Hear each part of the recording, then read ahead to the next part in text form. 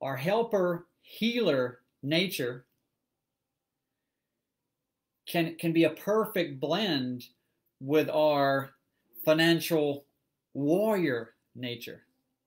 What if there doesn't have to be a separation between the two or a pulling apart? What if it can be a coming together? And what if, imagine, or, or what if it's part of my core belief that at some level we're all helper healers.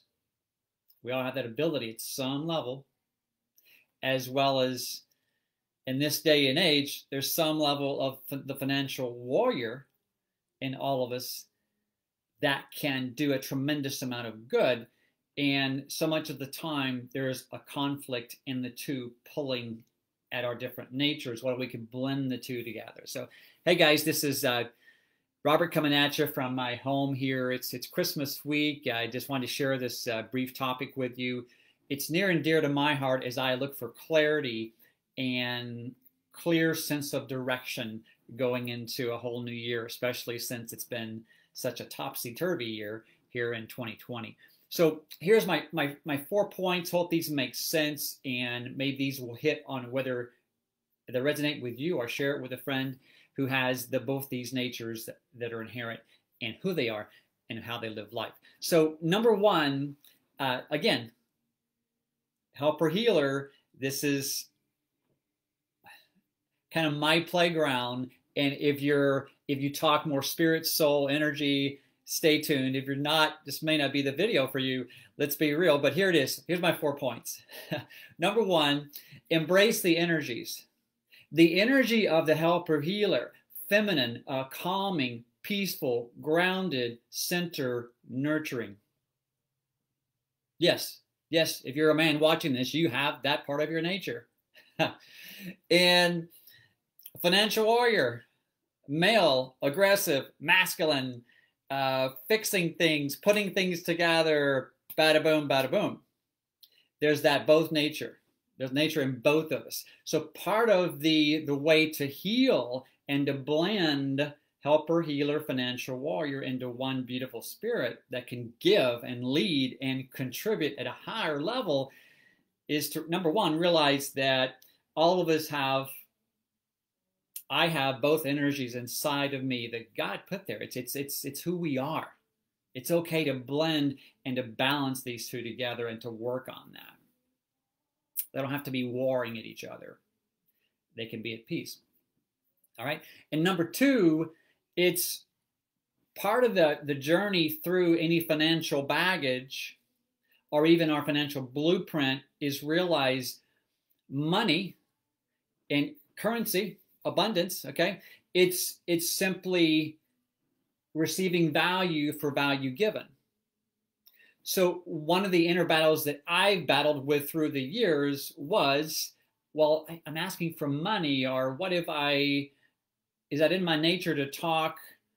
Will you here's something, yes, there is a cost. Will you actually buy this? When in, in reality, part of my sales journey alongside my help or healer journey is realize I've always had something of deep innate value that could make a, a, a, beautiful, tremendous difference in people, as well as content like this. So part of it is to realize that it's money in abundance regarding having baggage and walls around it. It's simply receiving value for value given that helped me kind of heal that money baggage, if you will, around dealing, being that financial warrior. That's part of my nature. Okay, so and number three, it's all about the energy we give anything.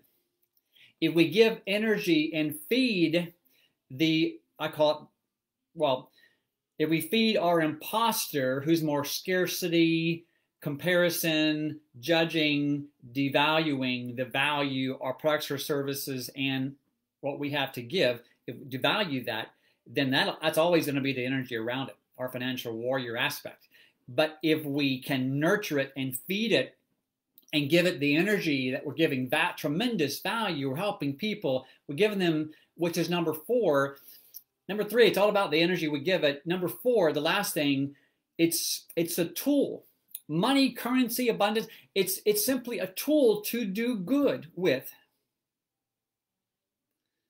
Good people do good things with more money. Inherently, people bad or people not bad. I would say people that are more focused on the uh, the darkness. Money will bring. They'll find a way to decrease the light to bring more darkness. So it's it's not it, it's money is a tool to do good when we choose to do that. If if our helper healer nature is alive and well and we're feeding it and nourishing it, then when more money and more abundant abundance comes into our life, we're going to do a tremendous amount of more good with it. So so these are my four points, and the, it, there was a summary here that there's it's a beautiful thing we can blend the two. The world needs more helper healers who also step into their financial warrior selves and give other people permission to step into both energies. And that's a beautiful thing. It's never been more needed and more accessible in this day and age where we're all interconnected around the planet. So again helper healer financial warrior blend the two and there's some beautiful ways and we can do tremendous good once we step into that place and step into our god-given power and light. So have an amazing day and be abundant. Take care